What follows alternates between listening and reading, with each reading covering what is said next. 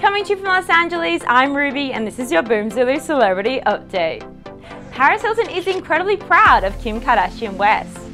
The socialite has insisted that she is happy for her reality TV star friend, despite Kim taking over in terms of fame, since starring on Keeping Up with the Kardashians, marrying Kanye West, and giving birth to daughter North. The Simple star has previously said that she believes the two of them share the same work ethic, and that is why they've both been successful. Taylor Swift and Calvin Harris have confirmed their relationship by kissing at the Billboard Music Awards.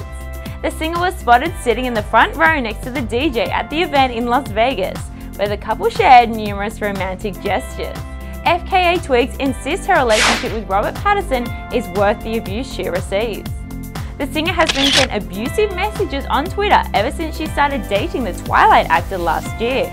And although she has admitted it has been awful, she believes it is all worthwhile. To see your photos and videos featured on Boomzulu, upload them via boomzulu.com or via the Boomzulu app. I'm Ruby and for the most up-to-date celebrity news, check out boomzulu.com.